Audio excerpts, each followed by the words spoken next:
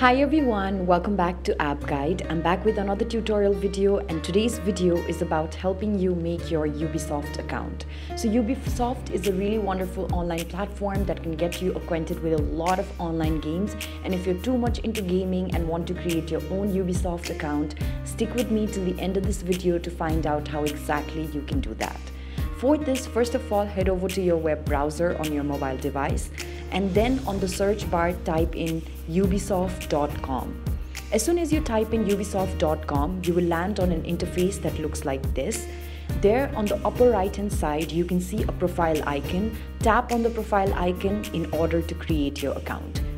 As soon as you tap on your profile icon, you will see an interface that will ask you to either log in or create an account.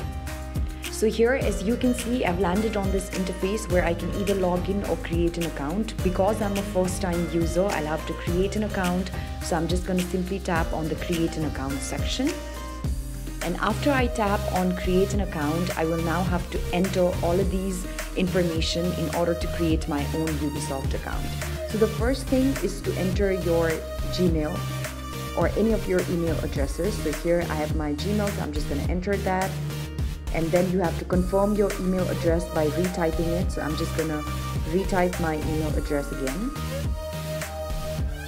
After doing this you can also set up a certain password for your account.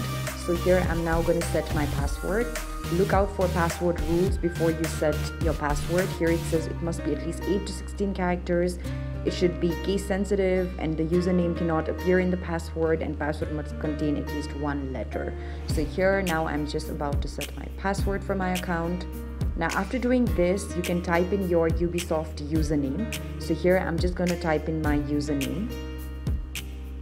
And then also see for your date of birth. So now I'm going to choose the day of my birth.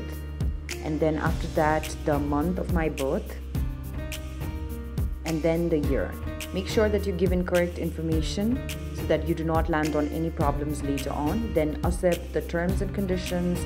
Tap on I am not a robot in order to prove that you're not a robot. And after you're done fulfilling the CAPTCHA, you'll see an option that says create a Ubisoft account. Tap on it. And now wait for all the first things to complete and all of your information to be taken into consideration for you to create an account.